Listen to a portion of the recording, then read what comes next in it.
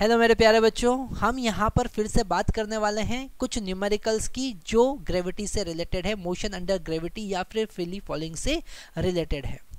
Next question हमारे पास में आता है acceleration due to the gravity on the planet A is nine times the acceleration due to the gravity on planet B okay मतलब कि ए planet का जी जो है वो बी प्लानट के जी से नाइन टाइम्स ज़्यादा है।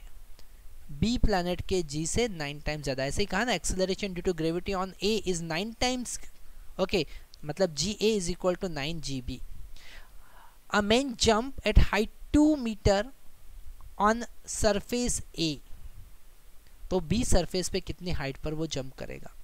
तो यहाँ पर हाइट का अगर हम फार्मूला देखें तो वो होता है u square divided by two g मतलब height is inversely proportional to g okay हम क्या लिख सकते हैं? हम लिख सकते हैं यहाँ पर, यहाँ लिख सकते हैं एच वन या H A divided by H B is equal to one by g A divided by g B divided by one by g B because it is inversely proportional तो यहाँ पर एच ए का value two metre given है।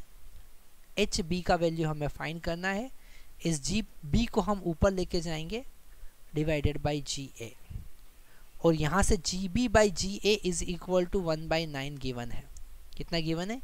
G B divided by g A is equal to one by nine okay तो यहाँ पर अगर हम इस नाइन का मल्टीप्लाई करेंगे तो H B is equal to eighteen metre हमारे पास में आएगा। मतलब ए प्लानट पे अगर टू मीटर जंप करता है तो बी प्लानट पे वो 18 मीटर जंप करेगा।